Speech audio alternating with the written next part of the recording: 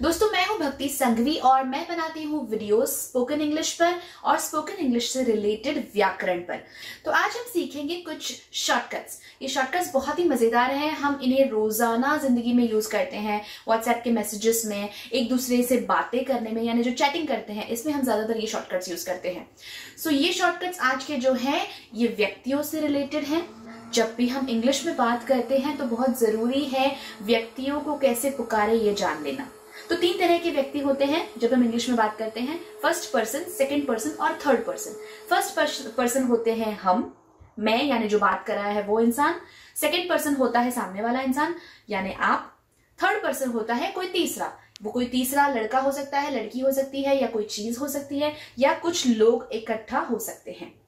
तो ज़्यादातर जब हम किसी व्यक्ति से बात करते हैं, तब हम उनका नाम पुकार कर बात करते हैं। लेकिन बात करते वक्त हम बार बार नाम तो पुकार नहीं सकते।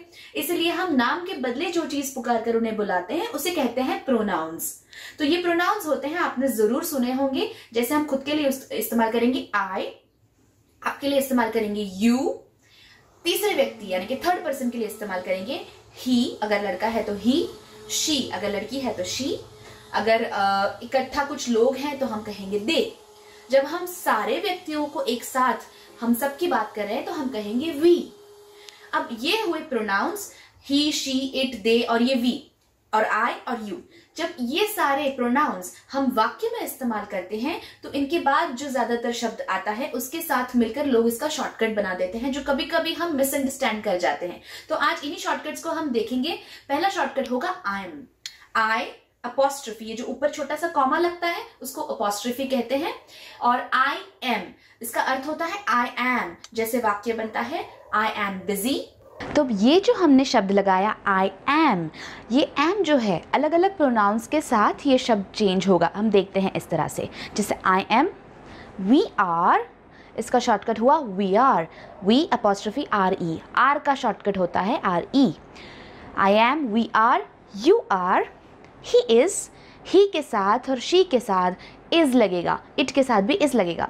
तो इसका शॉर्टकट होता है ही इज़ उसी तरह से शी इज़ उसी तरह से it is again they are they क्योंकि बहुवचन है तो दे के साथ भी आर लगेगा, यानी दे अपोस्ट्रफी आर ई अब हम अगला शब्द देखते हैं आई वुड जैसे इसका हम सेंटेंस में इस्तेमाल करेंगे आई वुड बी ग्लैड तो आई वुड का शॉर्टकट होता है I'd I'd be glad we'd be glad You'd be glad, he'd be glad, she'd be glad, it'd be glad, they'd be glad. इन सब प्रोनाउंस के साथ वुड का एक ही फ़ेज़ लगे अगला शब्द है आई हैव आई हैव का शॉर्टकट बनेगा I have I apostrophe V E इसका वाक्य में इस्तेमाल इस तरह से होगा I have to go we have to go you have to go हम आई वी और यू में हमने हैव लगाया, अब यही हैव जब थर्ड पर्सन एक वचन है, यानी कि सिंगुलर है ही शी इट इसके साथ लगेगा has he has to go तो शॉर्टकट हुआ he is to go he has में भी एस ही लगेगा अपोस्ट्रफी एस ही लगेगा, और ही इज़ में भी अपोस्ट्रफी एस ही लगेगा। वाक्य के अनुसार हम उसका अर्थ निकाल लेंगे। जैसे कि he is to go she is to go it is to go and they have to go they have to go क्योंकि दे बहुवचन है तो उसके साथ हैव का शॉर्टकट लगेगा। चलते हैं अगले शब्द की तरफ़। I will study we will study अब विल का शॉर्टकट हुआ double L apostrophe double L. I'll study, we'll study, you'll study, he'll study, she'll study, it'll study, they'll study. इन सारे प्रोनाउंस के साथ इसका एक ही रूप लगेगा, सो ये बहुत ही आसान है। तो ये थे हमारे प्रोनाउंस के अनुरूप लगाए गए शब्दों के शॉर्टकट।